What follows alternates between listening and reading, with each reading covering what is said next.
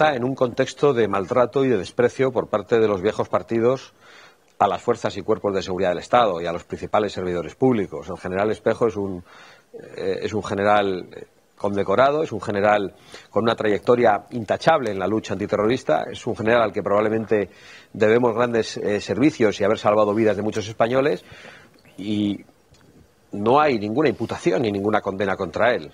Lo que hay es una afirmación de los familiares de terroristas, del mundo político de la banda terrorista ETA y del nacionalismo vasco contra ese general.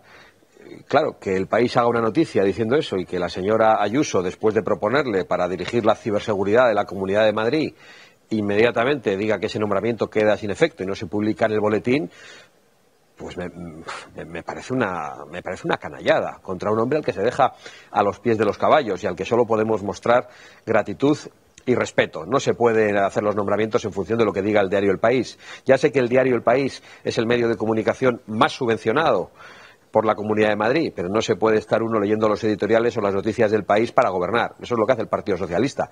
No sabía yo que también lo hacía el Partido Popular de la Comunidad de Madrid.